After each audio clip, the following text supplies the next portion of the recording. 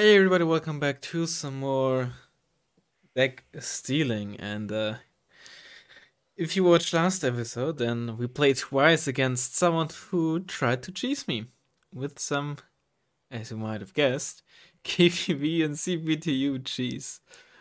Yeah, they played Soviets with um, a very interesting setup incredibly interesting. It gets more it gets it gets weirder and weirder by the tab. Like logistics tab, I'm like, okay. You know, at least you got plenty of CVs, but you know, two pretty mediocre survivability CV cards. Okay, two trucks while you have fob as well. Alright. Then in infantry tab, okay, these cards are fine. And then on a strike 19 DMTLBV, alright. This is really the only weird card I think in the infantry tab. The rest is fine. I wouldn't use a PB when for the same price you can get the BTR 70, which has better survivability for no downside. Okay, technically, technically there is a downside as the BTR 70 has the same speed and autonomy while having a bit more fuel, meaning it's a bit less fuel efficient, but come on. Support tab, again sure Vasilek Tutors user. Alright, this is now that I think about it, probably the most normal tab here. Two castle super heavies and then nothing, and then you get to the T72 base and then the T34. Recon tab, you have Resvetkan Ural, fine. K52, okay, sure. BRDM3, yeah, perfectly normal.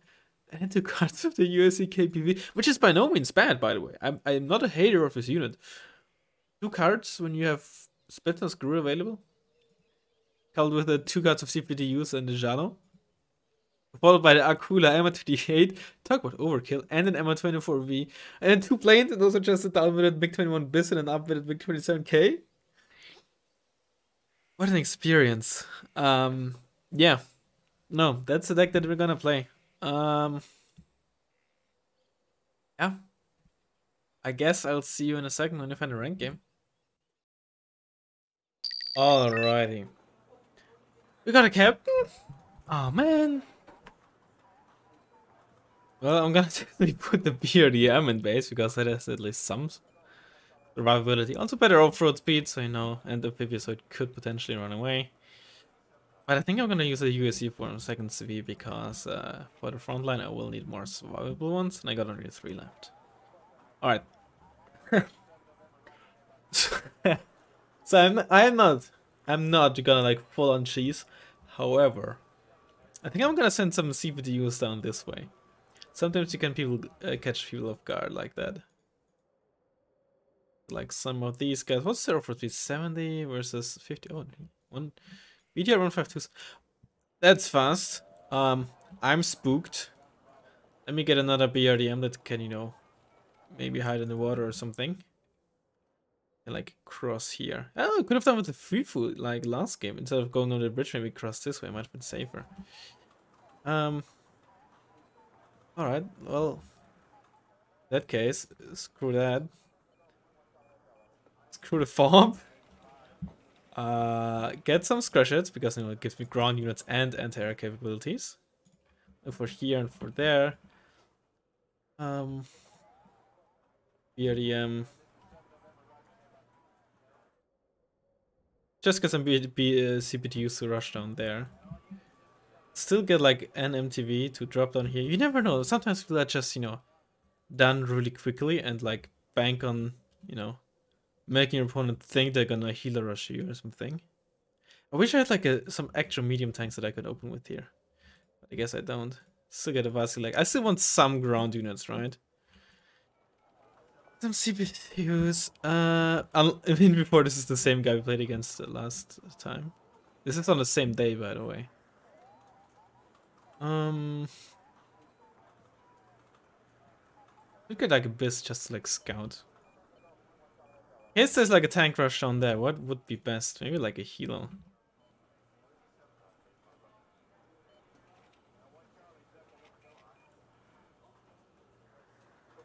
Let's get a MTB like hovering low there. Get the Konkurs for in here.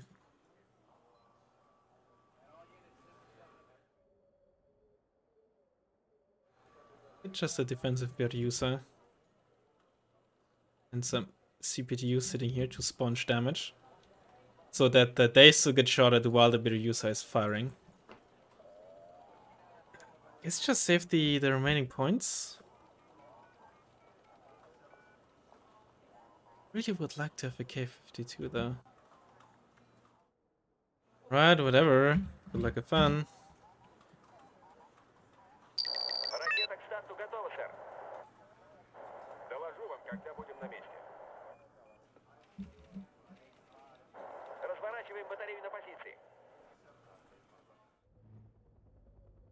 You unload in there and then move here. You're just gonna like sit here. I probably should have opened with Abyss, but...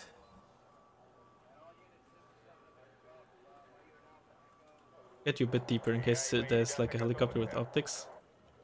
You just keep driving in there.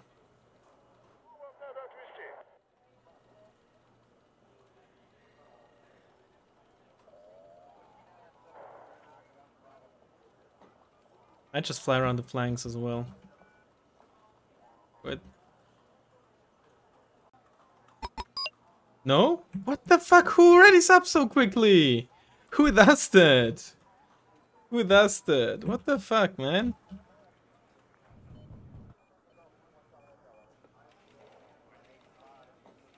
Oh, hello there. MIT on Elite? Those are specialities. Unless, you know, they're, playing against Moto or something. And they're just upfitted trucks. I mean, I guess I am playing against a captain, but like... Alright then. Makes me want Biz this one here, is not really the best for helo diving because it doesn't have a second set of missiles like uh, other um, A pieces. Let's get like an infantry squad here and block the bridge. It's a BMP2. No, it's a BMP1 with Malyut guns.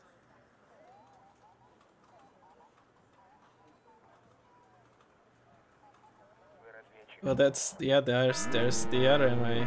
Moderna. oh, the MAT doesn't have an MG. I'm just gonna get tracked by the other gun here.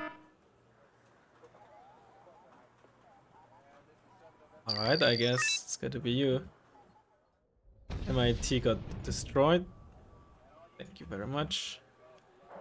Well, we, we are in fact just playing against someone who's just not very experienced, but given how quickly they read it up, I just was like, no way they're gonna play normal. Right? So we just want to block this bridge and obviously want to block something happening here, so I'm gonna have uh, MTV cover like, hover like here and then over there. That should hopefully secure us against, you know, whatever is being unloaded here.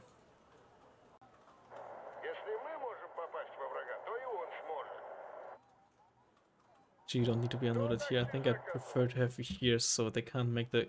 Oh boy!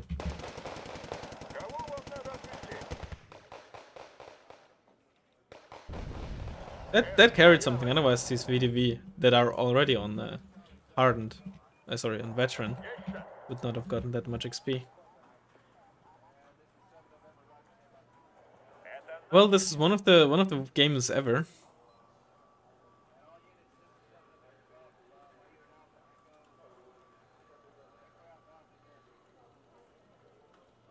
Where did they? I I'll have to watch replay afterwards. Where did the? Oh,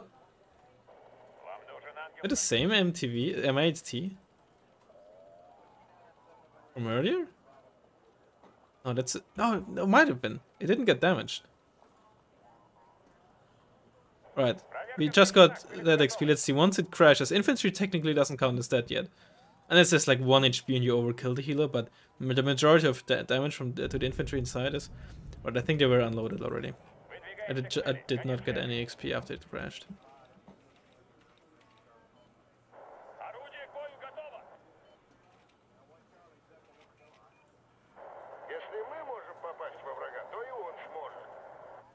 Can I are they just trying to cheese me?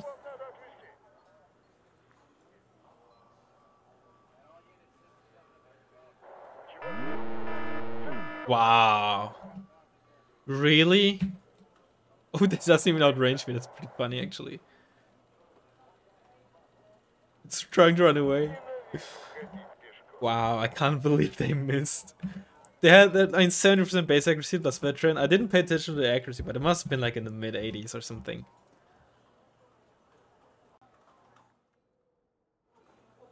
Once you get to 70% base accuracy, your accuracy bonus through veterancy isn't that huge anymore. Oh, this just sitting out there in the open.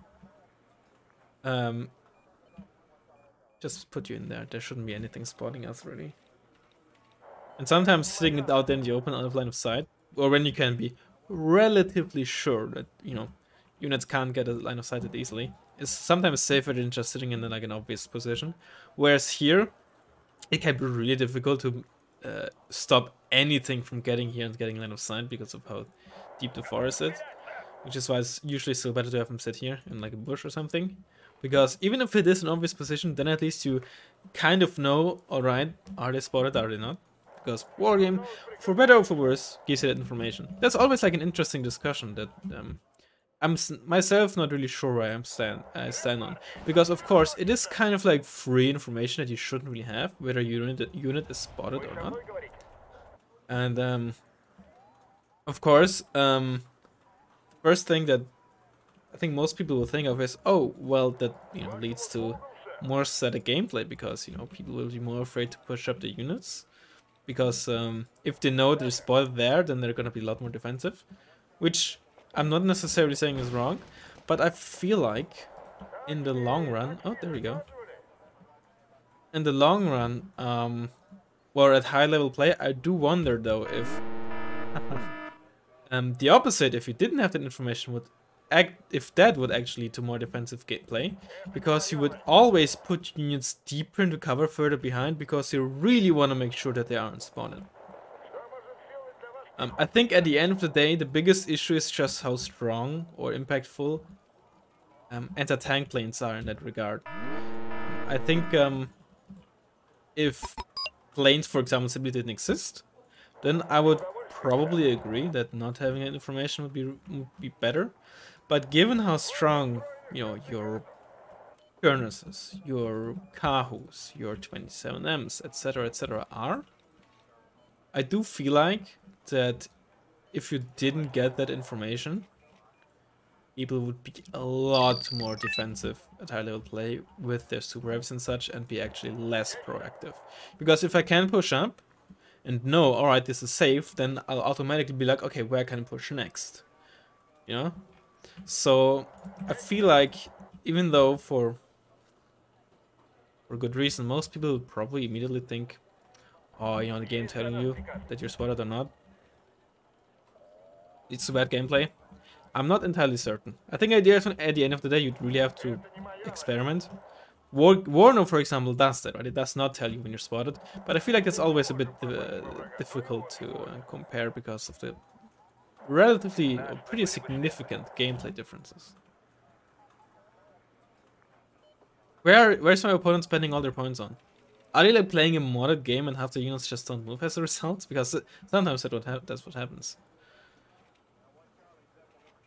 I might like so defensive, it might be you here.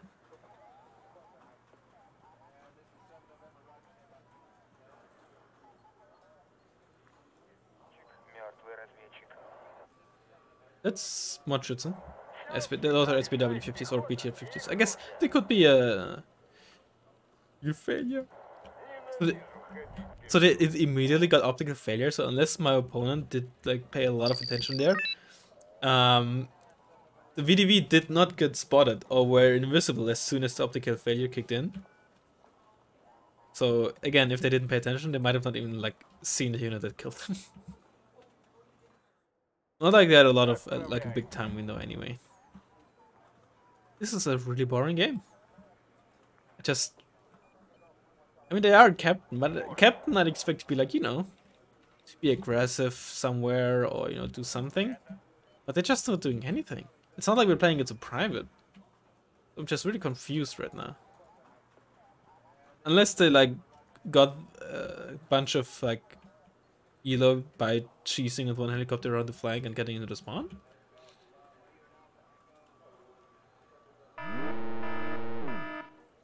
I would not know. But there's still a Moderna somewhere unaccounted for. Let's not forget that. But this 875 meter range, man, it's just so ridiculously good. It's crazy. Such a good anti-tank weapon.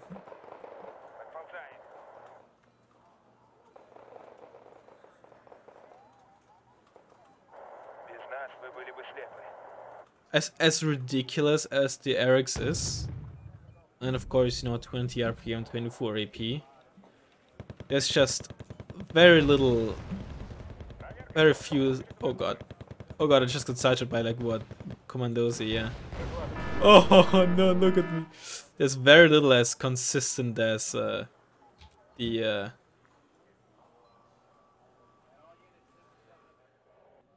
RPG 27.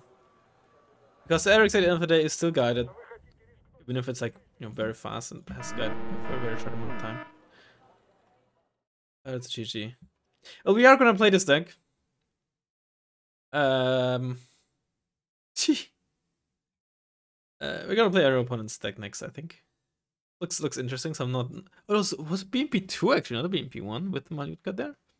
Anyway, we're gonna play. Um, yeah, we're gonna play our opponent's deck deck next. Maybe. I did. Wait, what? Oh yeah, no, that was MTV. No, I did get the specialness there. I wonder. Here's what I'm wondering, because you know, I did not get the extra AP after the helicopter crash, which is uh, which where I'm like 95% certain where you would get the XP. Again, if you have like a, a helicopter that's at 1 HP and it carries a 2 HP squad and you kill it with a 9 HE missile or something, you kill the in, uh, squad sitting inside with the missile before it crashes. But if you essentially kill like a 10 HP helo with like two 5 HE missiles, the infantry inside, as far as I know, does not really take any damage until the crash. Which is why sometimes you see 15 HP squads survive with a few men left because the crash doesn't deal enough uh, damage. Um, but I do wonder if when a helicopter crashes over the sea, you just don't get the extra XP for some reason because um, maybe the infantry just doesn't. Infantry dying from a crash might be different than infantry being quote unquote unloaded or like crash unloaded, whatever it is, over sea. Maybe that just instantly removes them, so to speak and the whole damage from the crash doesn't actually take place, and as such, you don't have like the same, you know, kill thing going on. I don't know. Is just my theory. I mean, they spent a lot of points on Komandosi. Oh, that's what it was. It was a BMP one. It's just, oh my. Yeah, they were not unloaded. In fact. I'm not gonna lie, that bit TPU loss was pretty embarrassing. But no offense. Oh, I didn't even realize I had that before already. No offense, but as soon as I play against someone who I realize is just, again, not trying to be rude here, not very good at the game, or just simply new, right? Um, I play a lot more carelessly, or a lot less careful, if you want to phrase it that way. But yeah, like, I'll be honest, if I think of a captain, that's not the kind of. Maybe it just went into the head that I played it against a brigadier. Who knows? Sometimes it happens. Um, but like when I think of a captain, this is what I would look like. Think like a private or corporal plays like. But a captain, again, no offense. Maybe I'm just you know out of touch, stupid as it sounds. Not not, not afraid to often use for you know something like that. Maybe. Oh, they're 50s with the. Uh, what are they called again? Are they called Sturmpioniere or something? Or Pioniere? Or they the Komandosi here. And I actually ran away without knowing. Oh no. Sturmpioniere, I was right, okay. Oh, that's so unfortunate for him. Oh, der war, der war Spezialaufklärer on the right. Oh my. What? I mean, look, if at the end of the day, this, is not, again, not meant as an insult, right? Sometimes people just, they don't really care that much about getting better. Once again, I'm not trying to be like rude here. But like with over 500 rank games, I don't know. Maybe they don't care about learning. Maybe they're playing under the influence or something. I don't know. It is what it is. In any case, um, I guess I hope you enjoyed the video, and I'll hopefully see you in the next one. Bye bye.